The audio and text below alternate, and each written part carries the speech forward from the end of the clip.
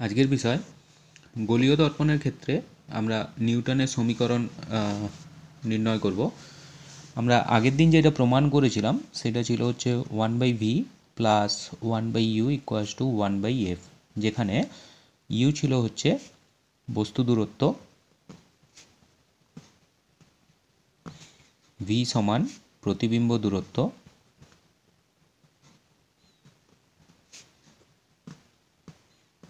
এবং এফ ছিল ফোকাস দূরত্ব। তো এই সমীকরণটাকে অ্যারেঞ্জ করে আমরা এটাকে এক্স ওয়াই আর এফ এফ স্কোয়ারের আকারে আনব, অর্থাৎ আমরা প্রমাণ করতে চাইছি X Y equals to F square এটা প্রমাণ করব। তাহলে প্রমাণ করবার জন্য উপরের সমীকরণটা আমরা নিয়ে নেব। লিখতে পারি one by V plus one by U equals to one by F arrange করলে পেয়ে যাব V by U V equals to one by F or U V minus UF minus VF equals to zero সাজালে এটা লিখতে পারি। এবার both side কি করব? এর সাথে আমি এফ স্কোয়ার যোগ করতে পারি। অর লিখব UV minus UF minus VF plus F square equals to এই পাশেও আমরা একটা এফ স্কোয়ার টার্ম নিচ্ছি। তাহলে এটাকে যদি আমরা সাজিয়ে নেই ইউ কমন নিতে পারি, এটা হয়ে যাবে ভি মাইনাস এফ এখান থেকে আমরা নেব F common V minus F equals to F square or লেখা যাবে U minus F into V minus F equals to F square এটাকে এক নম্বর সমীকরণ নিচ্ছি। এইবার এখানে দুটো টার্ম আসছে, একটা হচ্ছে ইউ মাইনাস এফ আর একটা হচ্ছে ভি মাইনাস এফ অর্থাৎ বস্তু দূরত্ব থেকে আমরা ফোকাস দূরত্ব বাদ দেব, আবার প্রতিবিম্ব দূরত্ব থেকে ফোকাস দূরত্ব বাদ দেব। তো ধরে নিচ্ছি, ধরি U minus F equals to X এবং V minus F equals to Y তাহলে এটাকে অ্যারেঞ্জ করলে বা এই মানটাকে যদি বসাই, আমরা সমীকরণ পেয়ে যাব X Y equals to F square তাহলে এটাই হচ্ছে গোলীয় দর্পণের ক্ষেত্রে নিউটনের সমীকরণ বা নিউটনের ফর্মুলা। এবার এই নিউটনের ফর্মুলা দিয়ে যদি এটাকে আমরা প্লট করি, অর্থাৎ এক্স এবং ওয়াই ধরে যদি আমরা লেখচিত্র প্লট করি, তাহলে এক্স ওয়াইয়ের লেখচিত্র হবে এটাকে যদি এক্স ভার্সাস ওয়াইয়ের লেখচিত্র আমরা আঁকি, সেক্ষেত্রে এটার লেখচিত্রের ধরনটা হয়ে যাবে আয়তাকার পরাবৃত্ত। এটা শর্ট কোশ্চেনের জন্য লাগে। তো পরাবৃত্ত দিয়েও উত্তরটা থাকতে পারে। তো এখানে আমরা মনে রাখব এটাকে বলা হবে আয়তাকার পরাবৃত্ত। নেক্সট আমরা আলোচনা করব গোলীয় দর্পণ দ্বারা সৃষ্ট প্রতিবিম্বের বিবর্ধন বা বিবর্ধন। তো এর প্রথমে আসছে হচ্ছে রৈখিক বিবর্ধন বা লিনিয়ার ম্যাগনিফিকেশন বিবর্ধন বলতে এখানে ম্যাগনিফিকেশান কতটা বড় বা কতটা ছোট আকারে আমরা প্রতিবিম্বকে দেখব বস্তুর সাপেক্ষে। এটা সংজ্ঞা আমরা এরকম নিতে পারি। গোলীয় দর্পণের প্রধান অক্ষের সঙ্গে লম্বভাবে রাখা কোনো বস্তুর প্রতিবিম্বের দৈর্ঘ্য বা উচ্চতা এবং বস্তুর দৈর্ঘ্য বা উচ্চতার অনুপাতকে রৈখিক বিবর্ধন বলা হবে বা সংক্ষেপে এটাকে আমরা বিবর্ধন বলতে পারি। অর্থাৎ বিবর্ধনকে যদি আমরা এম দিয়ে ডিনোট করি এম ইকুয়াস টু লিখতে পারব এক্ষেত্রে আই বাই ও যেখানে আইটা হচ্ছে প্রতিবিম্ব উচ্চতা আই ফর ইমেজ আর ওটা হচ্ছে অবজেক্ট অর্থাৎ বস্তু উচ্চতা বা দৈর্ঘ্য। অর্থাৎ প্রতিবিম্ব দৈর্ঘ্য বা প্রতিবিম্ব উচ্চতা বা বস্তু দৈর্ঘ্য বা বস্তু উচ্চতার অনুপাতকেই বলা হবে এক্ষেত্রে রৈখিক বিবর্ধন।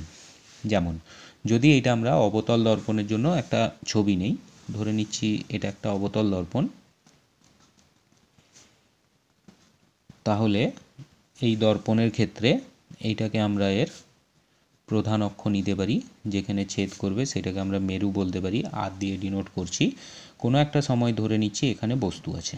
বস্তুর নাম দিচ্ছি ক্যাপিটাল পি ক্যাপিটাল কিউ এবার বস্তু থেকে রশ্মি কী হবে? দর্পণে এসে পড়বে। ধরে নিচ্ছি প্রথম যে রশ্মিটা আসছে, সেইটা এইভাবে গিয়ে দর্পণের মেরুতে পড়ছে, অর্থাৎ আর বিন্দুতে পড়ছে এবং যে কোণে আপতিত হবে, সে কোণেই ফিরে যাবে, অর্থাৎ এটা এইভাবে বেরিয়ে আসবে।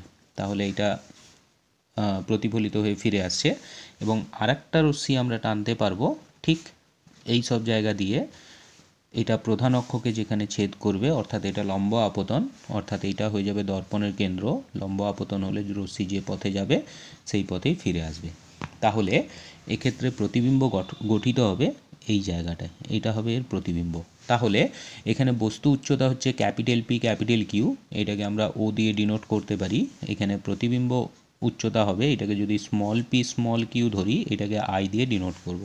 অর্থাৎ capital P capital Q equals to আমরা লিখতে পারি ও এবং small P small Q equals to লিখতে পারি আমরা আই এবার এখানে যদি আমরা সাইন কনভেনশন ধরি, প্রধান অক্ষের উপর দিকটা হচ্ছে পজিটিভ এর নিচের দিকটা হচ্ছে নেগেটিভ তাহলে ওটা পজিটিভে থাকবে, কিন্তু আইটা নেগেটিভে চলে আসবে।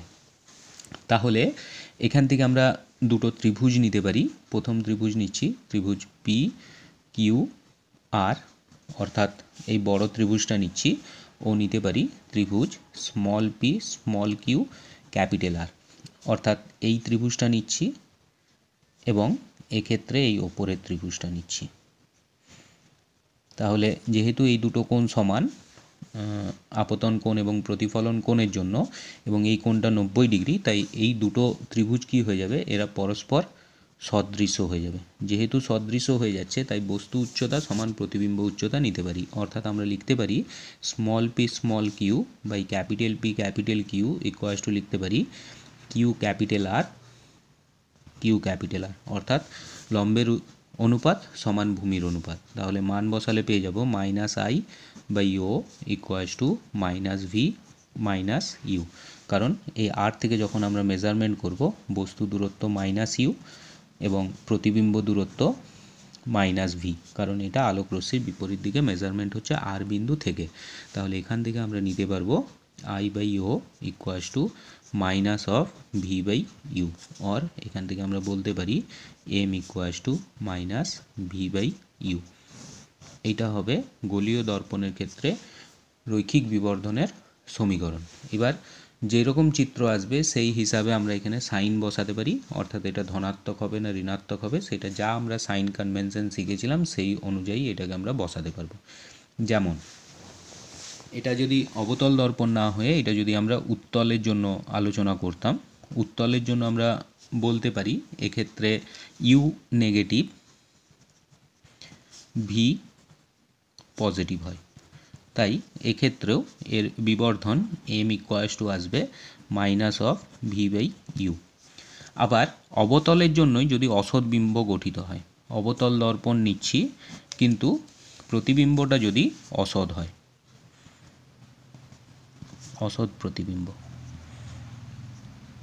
তাহলে আগের আলোচনা থেকে আমরা জানি অসৎ প্রতিবিম্বের ক্ষেত্রে ভিটা পজিটিভ হয়, অর্থাৎ এক্ষেত্রে ইউটা নেগেটিভ কিন্তু ভিটা পজিটিভ তাহলে এটাও যদি আমরা বসাই, সেক্ষেত্রে এম ইকুয়াস টু চলে আসবে ভি বাই ইউ একটা পজিটিভ আছে, একটা নেগেটিভ আছে।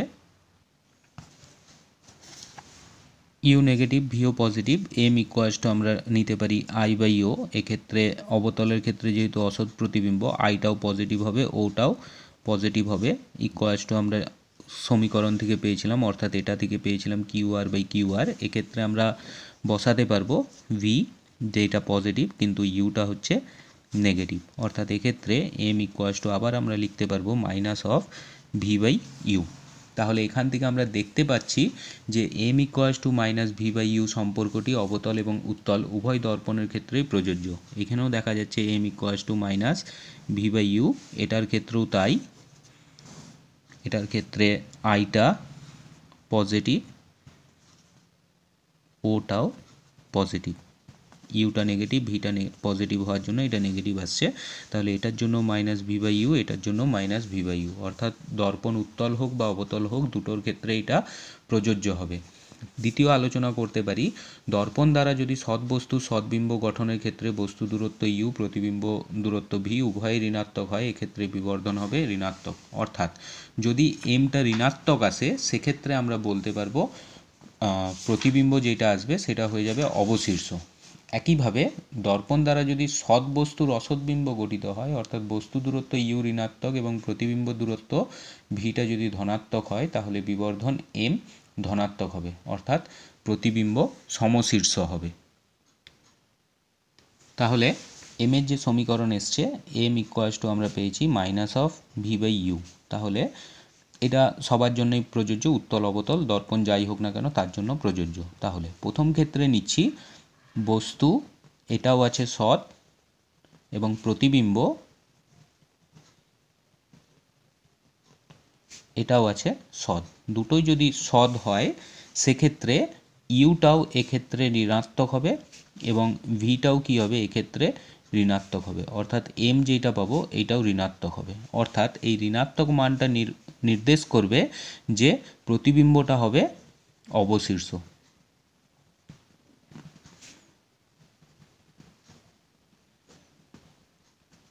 একইভাবে পরের আলোচনায় আমরা নিতে পারি, বস্তু আছে, সৎ, কিন্তু প্রতিবিম্ব, এইটা আছে অসৎ। তাহলে যেহেতু একটা সৎ, একটা অসৎ হচ্ছে, তাই এক্ষেত্রে ইউটা নেগেটিভ আছে, কিন্তু ভিটা পজিটিভ আছে। তাহলে এক্ষেত্রে এমটা পজিটিভ হয়ে যাবে। যদি এম এর মান পজিটিভ হয়, অর্থাৎ প্রতিবিম্ব, এটাকে আমরা নিতে পারব সমশীর্ষ। বস্তুর মতনই দেখতে লাগবে। যদি ঋণাত্মক হয়, অবশীর্ষ। যদি ধনাত্মক হয়, সেক্ষেত্রে সমশীর্ষ। এবার এম এর নানান মান হতে পারে। যদি এম গ্রেটার দেন ওয়ান হয়, অর্থাৎ প্রতিবিম্ব আকার বস্তুর থেকে বড়। প্রতিবিম্ব বড় হবে। যদি এম লেস দেন ওয়ান হয়, প্রতিবিম্ব ছোট হবে। আর যদি এম ইকুয়ালস টু ওয়ান হয়, প্রতিবিম্ব উচ্চতা বা দৈর্ঘ্য সমান বস্তু হয়ে যাবে। বস্তু উচ্চতা বা দৈর্ঘ্য হয়ে যাবে। এটা সেক্ষেত্রে সমান হয়ে যাবে। তো এখান থেকে আমরা এম এর আকারে ওই নিউটনের যে সমীকরণ পেয়েছিলাম, ওটাকেও কিছুটা আলোচনাতে নিয়ে আসতে পারি, পরের পয়েন্ট নিতে পারি।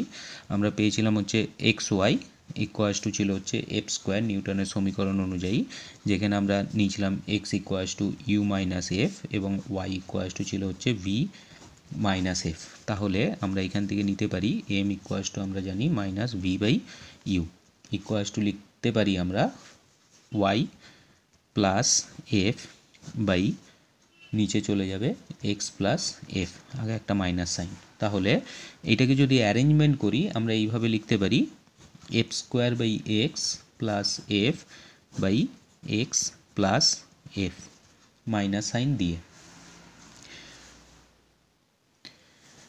এক্ষেত্রে আমরা যেটা করলাম, এই ওয়াইয়ের মানটা এখান থেকে নিয়ে এসেছি, অর্থাৎ ওয়াই ইকুয়াস টু লিখছি আমরা এফ স্কোয়ার বাই এক্স এটাকে তুলে এনে এখানে বসানো হচ্ছে। এবার এটাকে আমরা সমাধান করতে পারি।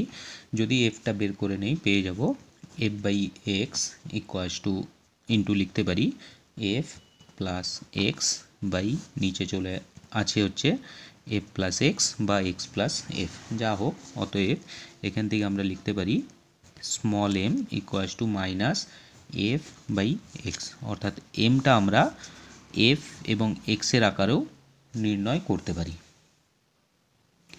নেক্সট আরও কিছু আমরা সম্পর্কে আসব। যেমন আমরা সমীকরণ পেয়েছিলাম ইউ ভি এফের মধ্যে। এবার ইউ ভি এফের সাথে আমরা এই এমটাকেও জুড়ব। তাহলে যে কোনো সময় ইউ থাকবে এফ থাকবে এবং এম থাকবে বা ভি এফ এবং এম এর মধ্যে সম্পর্ক আমরা নির্ণয় করব। তাহলে গলীয় দর্পণের জন্য আমরা জানি one by V plus one by U equals to one by F তাহলে এই পুরো সমীকরণটাকে যদি আমরা ইউ দ্বারা গুণ করি, তাহলে এটা হয়ে যাবে U by V plus one equals to U by F or লেখা যেতে পারে U by V equals to U by F minus one or এখান থেকে পেয়ে যাব U by V equals to U minus F by F or নিতে পারি V by U equals to F by U minus F এবার এই V by you সমান আমরা জানি এম বা আমরা লিখতে পারি M equals to minus of V by U তাহলে এই দুটোকে যদি কম্বাইন করি আমরা পেয়ে যাব M equals to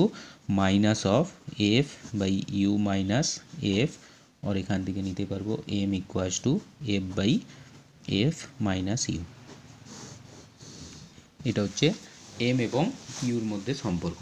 একইভাবে যদি এম আর ভি এর মধ্যে সম্পর্ক নেই আমরা, সেক্ষেত্রে নির্ণয় করতে পারব একই রকম সমীকরণ one by V plus one by U equals to one by F এই সমীকরণটাকে আমরা ভি দিয়ে গুণ করব, তাহলে হবে one plus V by U equals to one by F sorry V by F or V by U equals to V by F minus one বা লিখতে পারব V minus F by F এবার M equals to হচ্ছে minus V by U. Or এটাকে যদি আমরা বসিয়ে দেই এম ইকুয়াস টু পেয়ে যাব F minus V by F এটা হয়ে যাবে ভি এফ এবং এম এর মধ্যে সম্পর্ক। নেক্সট আমরা আলোচনা করব ক্ষেত্রীয় বিবর্ধন। গোলীয় দর্পণের প্রধান অক্ষের সঙ্গে লম্বভাবে রাখা কোনো তলের প্রতিবিম্বের ক্ষেত্রফল ওই তলের ক্ষেত্রফলের অনুপাতকে তলটির ক্ষেত্রীয় বিবর্ধন বলা হয়। অর্থাৎ আমরা এইরকম একটি তল নিতে পারি, যেটা দর্পণের সামনে থাকার ফলে ধরে নিচ্ছি এটার প্রতিবিম্ব এটা গঠিত হচ্ছে। এরকম একটি ছোট প্রতিবিম্ব গঠিত হচ্ছে। তাহলে এটার দৈর্ঘ্য যদি এল আর এই প্রস্থটা যদি বি হয়, এক্ষেত্রে দৈর্ঘ্যটা আমরা নিতে পারি এল প্রাইম এবং প্রস্থটা নিতে পারি হচ্ছে বি প্রাইম তাহলে এর ক্ষেত্রফল লিখতে পারব আমরা A equals to L into B এখন প্রতিবিম্বের ক্ষেত্রফল যদি এ প্রাইম দিয়ে ডিনোট করি, এটা হয়ে যাবে L prime into B prime এবার রৈখিক বিবর্ধন থেকে আমরা জানি যে এম ইকুয়াস টু যদি দৈর্ঘ্যের জন্য নেই, এটা হয় এল প্রাইম বাই এল অর্থাৎ নিতে পারি L prime equals to M into L একইভাবে এম ইকুয়াস টু লেখা যেতে পারে প্রস্থের জন্য বি প্রাইম বাই বি তাই বি প্রাইম ইকুয়াস টু হয়ে যাবে এম ইন্টু বি তাহলে যদি আমরা এই এ প্রাইমের এখানে বসাই, সমীকরণ আছে A prime equals to L prime B prime মান বসালে পাবো M L into M B equals to লেখা যেতে পারে M square into L B or এখান থেকে লিখতে পারি আমরা A prime equals to M square into A or M square equals to হয়ে যাবে এ প্রাইম বাই এ অর্থাৎ প্রতিবিম্বের ক্ষেত্রফল সমান বস্তুর ক্ষেত্রফল। তো এইটাকে যদি আমরা এম প্রাইম দিয়ে ডিনোট করতাম, তাহলে এম প্রাইম ইকুয়াস টু আবার লেখা যেত এ প্রাইম বাই এ এই দুটোকে কম্বাইন করলে আমরা সম্পর্ক পেতে পারি M prime equals to M square অর্থাৎ ক্ষেত্রীয় বিবর্ধনটা হবে রৈখিক বিবর্ধনের স্কোয়ারের সাথে সমান। নেক্সট আমরা নেব অনুদৈর্ঘ্য বা অক্ষীয় বিবর্ধন। এটা হচ্ছে গোলীয় দর্পণের প্রধান অক্ষ বরাবর রাখা কোনো বস্তুর প্রতিবিম্বের দৈর্ঘ্য ও বস্তুর দৈর্ঘ্যের অনুপাতকে ওই প্রতিবিম্বের অনুদৈর্ঘ্য বা অক্ষীয় বিবর্ধন বলা হয়। অর্থাৎ যদি আমরা ছবিটা নেই, ধরে নিচ্ছি এটা একটা দর্পণ আছে, এই দর্পণের ক্ষেত্রে এটা এর প্রধান অক্ষ হয়ে যাবে। ধরে নিচ্ছি এই প্রধান অক্ষের উপর কোনো সময় একটি বস্তু এখানে রাখা আছে। এটা ধরে নিচ্ছি বস্তু। তাহলে এক্ষেত্রে বস্তু যদি এ বি হয়, এর দৈর্ঘ্যটা আমরা ডিইউ নিচ্ছি এবং এর জন্য এইখানে এর প্রতিবিম্বটা তৈরি হচ্ছে ধরে নিচ্ছি। প্রতিবিম্বটা নিচ্ছি আমরা এ প্রাইম বি প্রাইম তাহলে এটার প্রতিবিম্বের দৈর্ঘ্যটা ধরে নিচ্ছি হয়ে যাচ্ছে ডিভি তাহলে এক্ষেত্রে অনুদৈর্ঘ্য বিবর্ধনের সংজ্ঞা আমরা এইরকম নিতে পারি, যদি ওটাকে আমরা এম ডবল ড্যাশ দিয়ে ডিনোট করি, এইটা সমান লিখ- লিখতে পারব আমরা V two minus V one by U one minus U two বা লিখতে পারব delta V by delta U তো এইটা হচ্ছে অক্ষীয় বিবর্ধনের সম্পর্ক। বা আমরা যদি ডেল্টা ইউটা টেন্স টু জিরো হয় M double prime equals to লিখতে পারি ডিভি বাই ডিইউ তাহলে এইটার সাথে রৈখিক বিবর্ধনের সম্পর্ক কীভাবে নির্ণয় করা যায়, সেটা এবার আমরা দেখব। সোজা জিনিস এটা নির্ণয় করবার জন্য আমরা যে সমীকরণটা আছে আমাদের one by V plus one by U equals to one by F এটাকে আমরা ডেরিভেটিভ করতে পারি ইউ সাপেক্ষে। ইউ সাপেক্ষে ডেরিভেটিভ করলে পাবো minus one by V square into D V by D U minus one by U square equals to zero কারণ F equals to constant তাহলে এটা অ্যারেঞ্জমেন্ট করলে পাবো D V by D U equals to minus V square by U square এবার আমরা জানি M equals to হয় minus V by U square term করলে এম স্কোয়ার ইকুয়াস টু চলে আসবে V square by U square তাহলে এটাকে যদি রিপ্লেস করি, চলে আসবে D V by D U equals to minus of M square আর এইটাকে যেহেতু আমরা M double prime equals to জানি হয় D V by D U অতএব আমরা লিখতে পারি M double prime equals to minus of M square অর্থাৎ এক্ষেত্রে অক্ষীয় বিবর্ধন বা অনুদৈর্ঘ্য বিবর্ধন সমান হবে রৈখিক বিবর্ধনের স্কোয়ার কিন্তু সেটা ঋণাত্মকে। অর্থাৎ গোলীয় দর্পণের ক্ষেত্রে অনুদৈর্ঘ্য বিবর্ধন সংখ্যাগতভাবে রৈখিক বিবর্ধনের বর্গের সাথে সমান। M double prime equals to M square এরপরে আমরা জানব দর্পণ চেনার উপায় কি? এবার দর্পণের শেপ দেখে বোঝাটা খুব মুশকিল, সেটা উত্তল দর্পণ, অবতল দর্পণ না। সমতল দর্পণ। তো চিনবার উপায় কি? এখানে আমরা তিনটা দর্পণ সম্পর্কে জানি। একটা হচ্ছে সমতল, দু নাম্বার হচ্ছে অবতল এবং তিন নাম্বার হচ্ছে উত্তল। তো এটা চেনবার উপায় হচ্ছে, এই তিনটা দর্পণের সামনে আঙ্গুল বা আমরা যদি পেন ধরি, যদি প্রতিবিম্ব বস্তুর সাথে সমান হয়, অর্থাৎ বস্তুর সাথে যদি সমশীর্ষ হয় এবং আকারটাও যদি সমান হয় তাহলে সেটা হবে সমতল দর্পণ। আকারটা যদি সমান হয়। যদি অবতল দর্পণ হয়, সেক্ষেত্রে কি হবে? সমশীর্ষ বস্তুর থেকে আকারে বড় হবে। এক্ষেত্রে কি হবে? আকারে যদি বড় হয়। যদি প্রতিবিম্ব আকার বস্তুর থেকে বড় হয়, সেক্ষেত্রে ওটা অবতল দর্পণ এবং উত্তল দর্পণের ক্ষেত্রে কি হবে? আকারটা ছোট হবে। যেমন, উদাহরণ নিতে পারি, অবতল দর্পণ। অবতল দর্পণ হচ্ছে দাঁতের ডাক্তারের কাছে যেটা থাকে। দাঁতের ডাক্তারের ব্যবহারের দর্পণ। কারণ দাঁতটা বড় দেখাবার জন্য অবতল দর্পণ ব্যবহার করা হয়। একইভাবে উত্তল দর্পণের উদাহরণ নিতে পারি আমরা গাড়ির ভিউ ফাইন্ডার গাড়ির ভিউ ফাইন্ডার বলতে ওই গাড়ির ক্ষেত্রে যে আয়নাগুলো লাগানো থাকে সেইগুলোকে আমরা নিতে পারি। অর্থাৎ গাড়ির আয়নাই হচ্ছে উত্তল দর্পণ। গাড়িতে ব্যবহৃত আয়না নেক্সট আর একটা ছোট্ট জিনিস, সেটা জানব হচ্ছে গলীয় অপেরণ।